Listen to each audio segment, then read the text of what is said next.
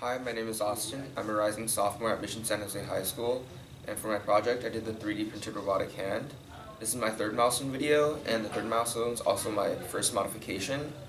And this modification is so that when I press, some, press a key on the keyboard, it would cause the servos to turn and make the hand do a certain gesture. So here's a demonstration. If I press the 1 key and press enter, the hand gesture 1. And this works for all the numbers 1 through 5. So 2, 3,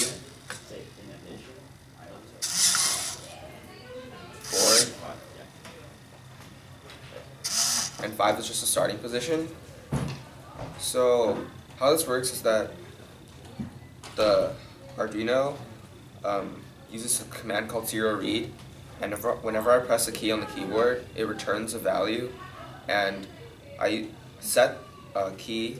So when I press a key, it sends a value to the Arduino, and whenever the value is equal to a certain value, it would tell the servos to turn a certain way so that it gestures the correct number.